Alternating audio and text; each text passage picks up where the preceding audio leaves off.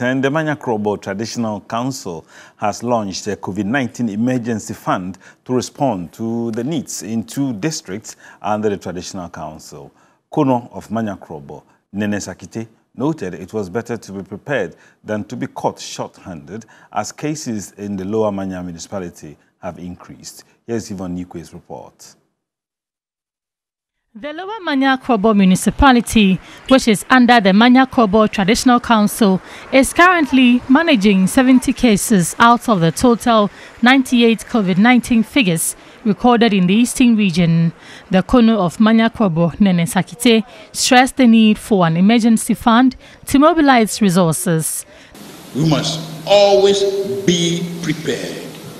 It is better for us to be over prepared than to be caught short handed or unprepared in dealing with this crisis. The Traditional Council made an upfront payment of 22,000 Ghana cedis of the 50,000 cedis that it intends to realize from the fund.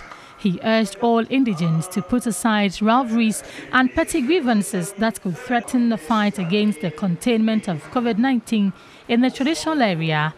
A 12 member committee was also set up to identify and appropriately respond to related resource needs in the area of health, medical support, and community and social welfare.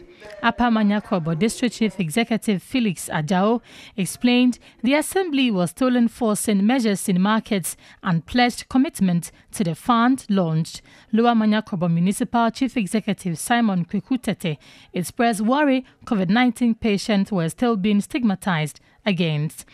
I've gotten complaints from people in the municipality that when they even join cars outside the municipality, people try to mock at them, which is not the best stigmatization of somebody who has a positive case or where there's a positive case will not help us at all. The Upper Manya Krobo District Chief Director Esther Dia Oyinka emphasized the need to eat balanced meals and requested for logistical support. Lower Manya Krobo Municipal Health Director Bismarck Sarkodie also appealed for more logistical support.